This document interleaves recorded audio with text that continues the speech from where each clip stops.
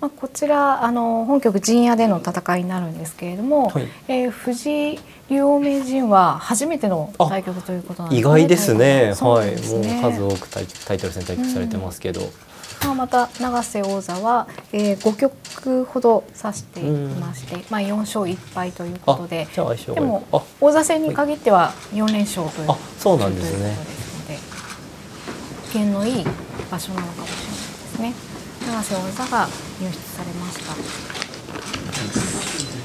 藤井聡太竜王名人が入室されました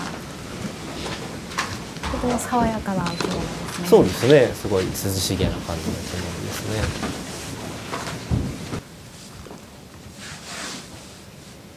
対局ですので、えー、振り駒を執り行います。はい振り駒が行われます奨励会員の方がそうですね。記録係の方は。これ緊張しますよね。ねはい。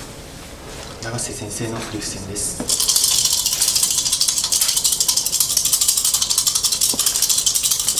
長く来てますねはい、やはり。得金が3枚ですので藤井先生の先手番でお願いしますやっぱり先手を取られるんですねはい、そうですね。先手は藤井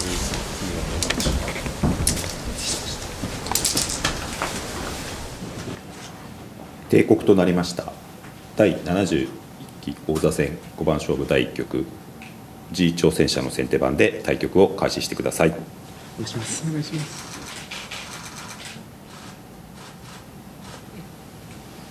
はい対局が始まりますまず初手はお茶をそうですね。もうおなじみの光景と言いますか。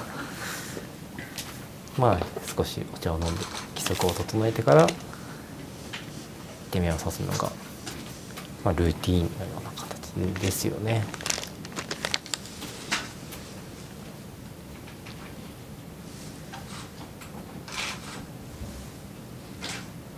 いつものようにはい。初手は2六歩ですね飛車先の歩を上げました、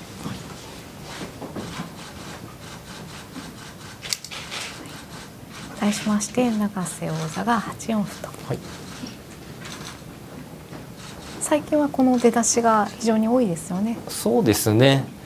まあ後手はこれで先手のやりたいことを堂々と迎え撃ってという感じが多いですかね。で2五歩8五歩とただ相掛かりも角換わりもそうですね。次の手でどちらになるか。7六歩と突けばおそらく角換わりになるのかなという気がしますし7八金と上がれば相掛かりという戦型になると思いますがそうですね。7六歩と突いて、まあ、やはり最近藤井竜王名人は角換わりをテーマとされてる気がするので自然な予想された進行ですかね。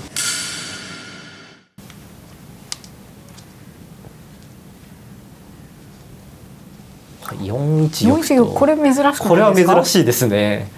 普段は4二に王様がいって、ええ。まあ、その4二の位置で戦ったりすることが多いんですけどこれはもう完全に後手の永瀬王座の趣向ですね、うん、えどんな意味がありますか？どんな意味があるんでしょうか？まだこの段階ではそんなに わからないというのがあれなんですけどまあ珍しいよですよね珍しいですね。は藤井さんのこと本当にいつも見てると思うので、うんちょっとした仕草とかでええ。多分今どういうふうに藤井さん感じてるかとか、うん。うん。おお出ましたよ。出ましたよ。へえ出ちゃったじゃないですか。そうですか。出ちゃいましたね。そうですね。これ話してる場合じゃないですね、えーいやいやいやいや行きましたよ。そうですね。三一強。おおいきなり攻め合った。そうですか。勝負に来ましたね。それは？まあ同飛車ですよね。ああで角で？同飛車で角で。まあどうなんでしょう。5六玉は7八角成が結構嫌味かなと思うので。嫌味ですね。で4六玉は3四桂があるじゃないですか、はい。なので3七玉と寄る感じですか？はい。あーまあ一応5九角で追撃できるんですけど。めっちゃ嫌じゃないですか。うーん。っちゃ嫌じゃないですかまあ嫌でしょうね、はいまあ対して結構受けも難しいから。あ同飛車取りました。お取りましたね。むむ。これはちょっと3三桂成を予想三三桂成やっぱちょっと難しい。難易度高かったね。ああそう瞬間ですもんね、はまあしかしはい。評価値は50い、やー難しいんですね。おー激戦。激戦ですね。今日埋めろと。埋めました。ほうあこれでまあこれで後手は3四桂利かすかどうかだけどいやー本当ですねうーんどうなんでしょうこの桂馬が利かさないのも普通だし。まあでも利かさないと打たれちゃうからやっぱ利かすんだね。あそうだね。うん来ましたね。だからやっぱこれ先着1名だから3四はい桂は埋めて。はい。敵の打ちたいところに打てと、すぐに打たれるわけじゃないけどやがて打たれちゃうから埋めておいて。ですかね。でもこれいやうわーえそうですか。またちょっと全然見えにくいところ。いや飛車ですーこれは視野が広いね。かはい、はい。まあ、4九歩と打たれる可能性もありますからね。うん。七。そうですね。ああでも2三金とはい、うこう永瀬王座らしい手が。ることになると思うんですけ強ど怖いですが。まあでも踏み込んで寄り切れちゃえば。はい。同金同とで何か寄せに。はい。あ同金で2二角成詰みがあるんですよそうか、と金。はい、と金が3人に残ってますからね。はい、取れないですね。そうなんですよね。四十秒すごい難しい終盤戦です。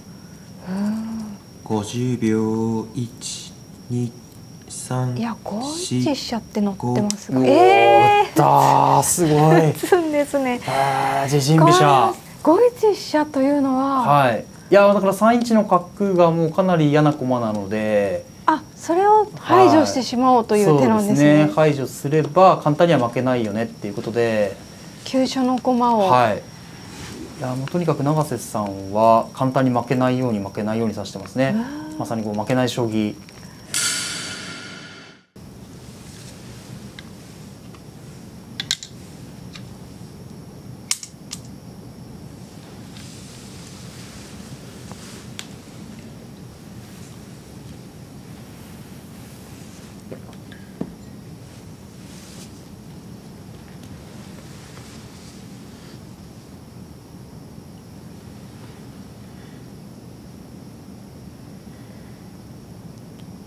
一の強が光ってますね。そうですね。4一に強がいるんで。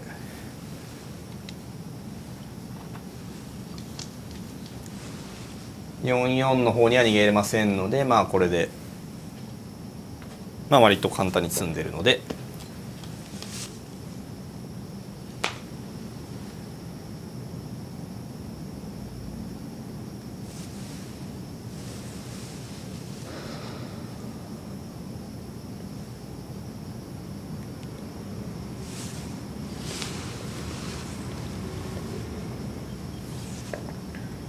三十秒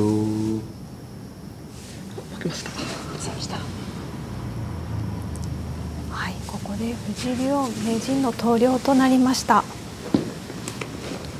開幕局は永瀬王座がはい、勝利いたしました。ご視聴ありがとうございます。アベマアナウンサーの西澤愛香です。アベマならご覧の番組をフルで見放題。詳しくはここをクリック